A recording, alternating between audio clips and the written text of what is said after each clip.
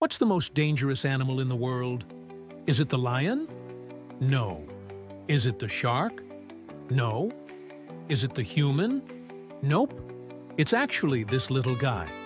That's right. The beaver is the most dangerous animal in the world.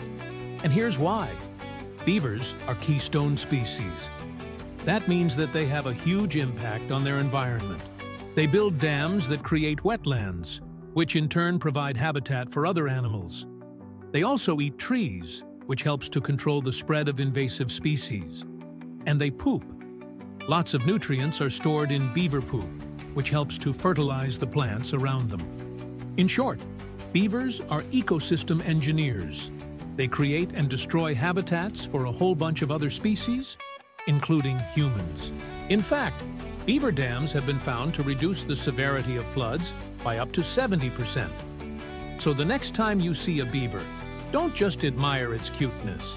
Remember that it's a tiny little eco-warrior that is protecting us from the big bad wolf. And that's